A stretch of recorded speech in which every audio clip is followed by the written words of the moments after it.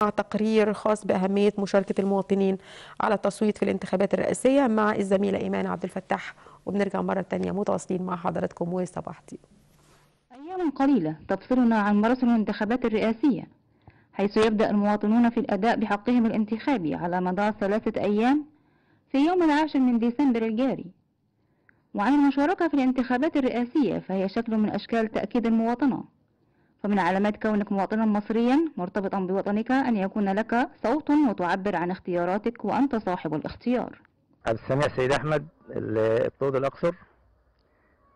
آه إن شاء الله آه بإذن الله تعالى كده إن شاء الله داخلين على الانتخابات الرئاسية في جمهورية مصر العربية. فأنا بطالب المواطنين المصريين الشرفاء الناس إن كلها تنزل وتشارك في الانتخابات. تشارك ليه؟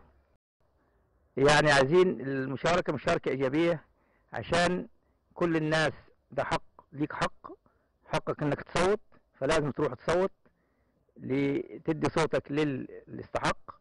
آه بعد كده عايزين نظهر برضو في الانتخابات بإذن الله نظهر للعالم نظهر للعالم ب يعني آه صورة حضارية راقية جدا نبهر بها العالم إن إحنا في دولة ديمقراطية.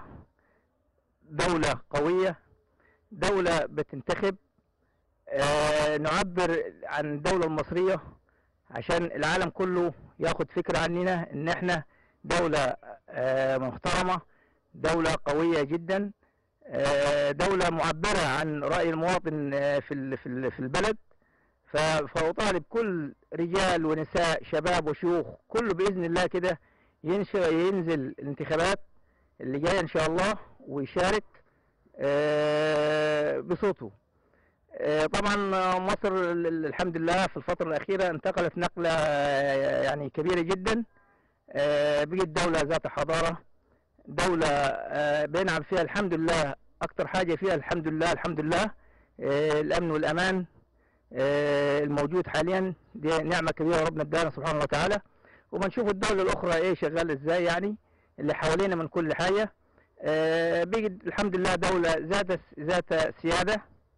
في طبعا آه هتكلم مثلا على الانجازات في التسع سنين الأخيرة والفترة الأخيرة انجازات كبيرة جدا الحمد لله.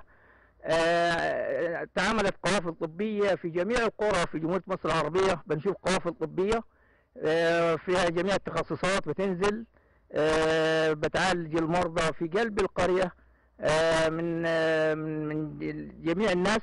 بشارة ويليام بشارة من مواطنين مكة إسماعيل الطود الأقصر بنحييكم ونقول لكم بصوا للبلد ومستقبل البلد. بصوا للإنجازات اللي اتعملت فيها. بصوا للأوضاع اللي حوالينا في كل الدول اللي حوالينا. دلوقتي مصر بقالها السيادة بقت دولة تعتبر من الدول المؤثرة في العالم كله. يا ريت نحافظ عليها يا ريت نحافظ على سمعتها. وده هيجي لما تنزل تستخدم حقك المشروع اللي هو حقك الانتخابي. صوتك ده بالرغم إن هو أمانة لكن ده حقك الرسمي.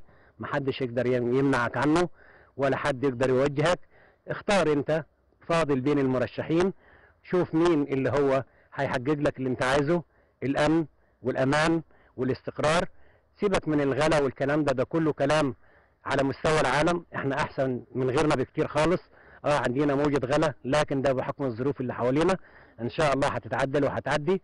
اختار وشارك ولازم صوتك ما يتحركش.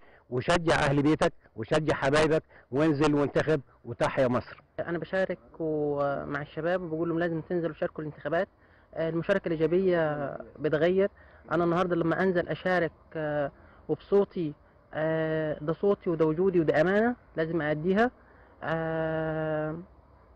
وبقول للشباب على على تجربة شخصية أنا لما شاركت في حاجات كثيرة اتغيرت في حياتي. شاركت في المجتمع المدني فكان لي كذا حاجة وكذا عضو مجلس إدارة في كذا جمعية. لا شارك ولازم تبقى إنسان مشارك وإيجابي في الانتخابات أو غير الانتخابات وفي المجتمع. والمشاركة الإيجابية جزء من من قضايا الوطن وطرف فعال ومؤثر في تقرير مصير البلاد وتحقيق مستقبل أفضل للأجيال القادمة. من الأقصر كنت معكم إيمان عبد الفتاح.